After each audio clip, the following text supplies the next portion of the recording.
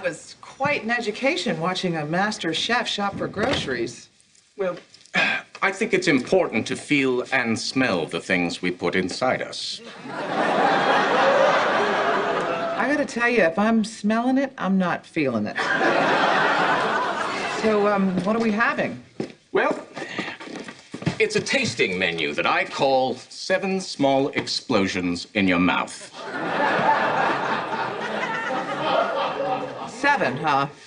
Let's see. Salty, sweet, savory, sour. Help me. Crunchy, creamy, and rooty. What's Rudy taste like? Pistachios, I've been told. Mm.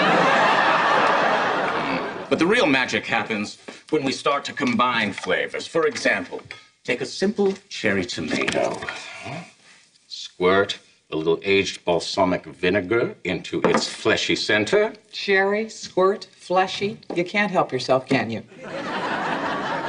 It's very hard.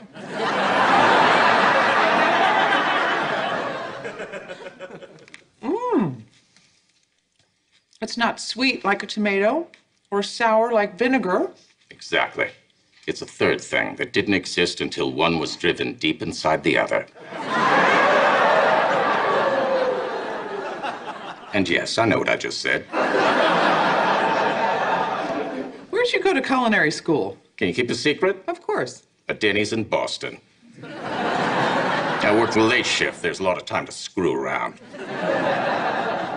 Where's the Boston accent? I dropped it. Hard to charge 60 bucks for lobster chowder with capers. Yeah. Well, where are my manners? Can I get you a glass of wine? No, thank you. I don't drink. Never? Never. Impressive. How is it that you have not killed yourself? More of a homicide girl. Well, then, as a good host, I won't drink either.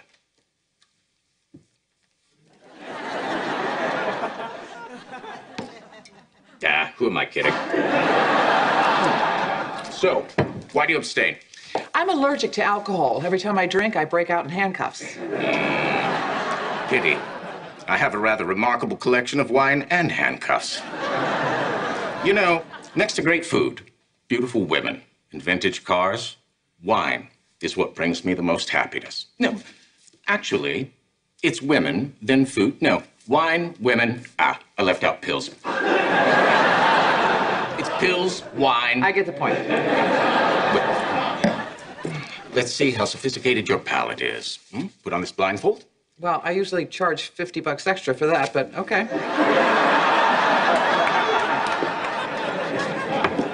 I knew I liked you.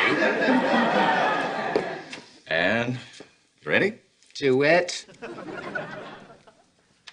What do you taste? Hmm. Fig? Very good. Now, try this. Mmm. Eel? here comes the pistachios.